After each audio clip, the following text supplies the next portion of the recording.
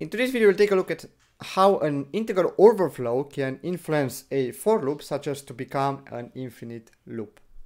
So let's start with a simple array. Let's say we have here an array of integers, 256 uh, integers inside that array, and what I want is to assign uh, to every single integer inside that array the value negative uh, 5. That's arbitrary, it doesn't really matter.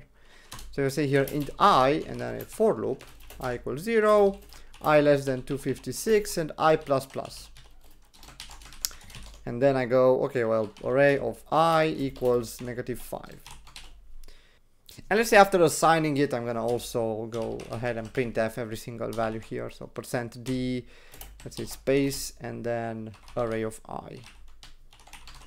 And now if I try to run this, I should get negative 5 let's say 256 uh, times. That should be the amount of negative 5 digits we got here.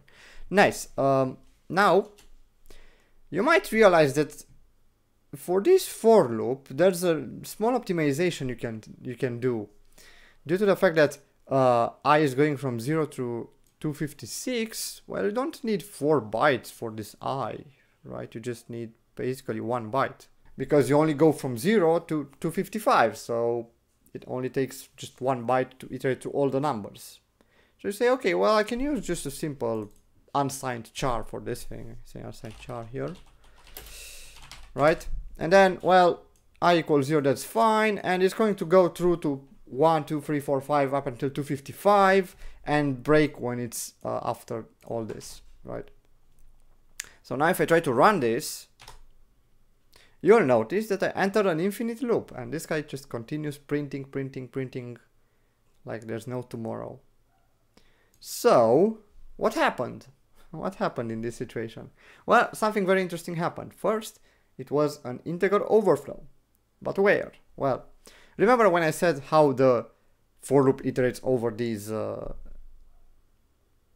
sections like like first is the initialization section where you first initialize i to be zero and then you check the condition you go through the code itself and then you increment and so on and so forth. So if you put a breakpoint here inside the for loop and break when i is 254 we can see that okay it's it's going to first assign to array of i which is right now just some garbage value. So it's going to assign the number uh, negative 5 to it, right, that's negative 5 now, it's going to print it on the screen, then we can see here that it gets incremented to, to 55.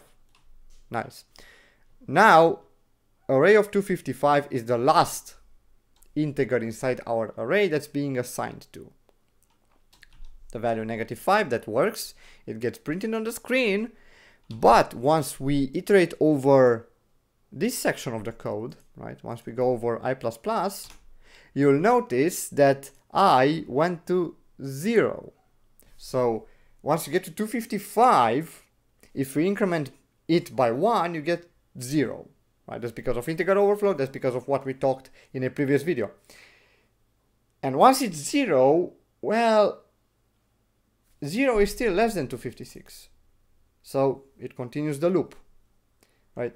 And it continues it 255 times, it gets to 255 again, right? And then it increments to 0 because it cannot go to 56, and uh, i is again 0, and so on and so forth, right? This continues infinitely.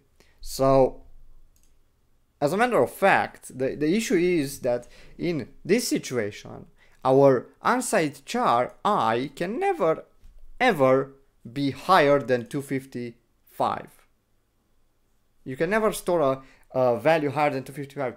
Sure, it can store 256 different numbers, right? The representation allows for that because 2 to the power of 8 is uh, 256. But because we have to include 0, we only have the numbers from 0 to 255. So once we get to 255, if we add 1, we get past the limit and we come back to 0 and that's why this is an infinite loop. So you have to be careful of this.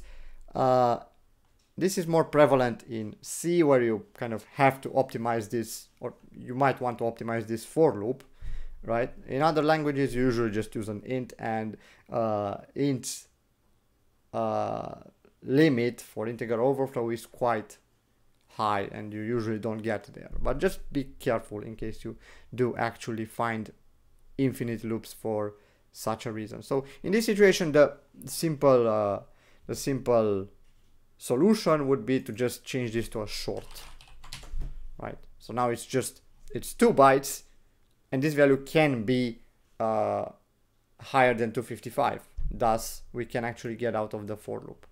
So if I try to run this again right? So here i is 254 we go over it once we increment we check the condition it's still true that's fine. Again we print it on the screen array of 255 the last element and then we add one and we get out of the loop because 256 can be represented inside our 2 byte unsigned short variable here. And that's why we're able to uh, that's why we're able to print on the screen all the values without getting an infinite loop all right so I hope this was useful. As you can see, actually, the, the IDE does uh, tell me that this is an infinite loop, in fact, but most IDEs won't tell you that, so just keep that in mind. And I hope this was useful. Uh, if you do have any questions, then do leave them down in the comments below or on our Discord server. Thank you so much for watching. Bye.